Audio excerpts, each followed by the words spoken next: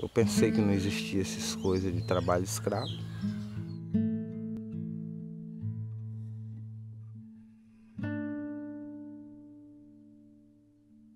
Cheguei na primeira fazenda, onde houve vários assassinatos.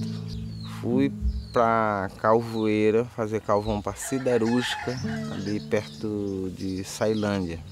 Outra exploração também. o tanque a gente tomava banho, lavava roupa e bebia água. Barracozinho de lona, não tinha energia, quebrei um dedo. Desse dedo não fui atendido no hospital, não me deram medicamento e retornei ao serviço, o gerente já tinha botado outro no lugar. Só fiz pegar minhas coisas e sair à noite, no beijo da BR.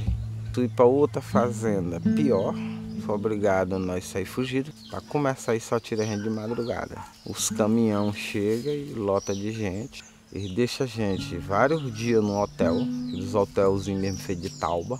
O almoço, a janta, o café e coloca uma mulher no meio, mas não dá dinheiro e muita bebida. Onde passa a dopar as pessoas só com bebida. Quando a gente está pensando em estar no bem bom, os caminhões chegam à madrugada, todo mundo dormindo. Lá a gente compra foice, compra esmeril, compra bota.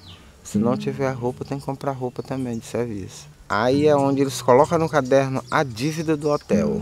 Então se junta a dívida do hotel com a dívida do, do combustível quando a gente termina o serviço, não tem saldo.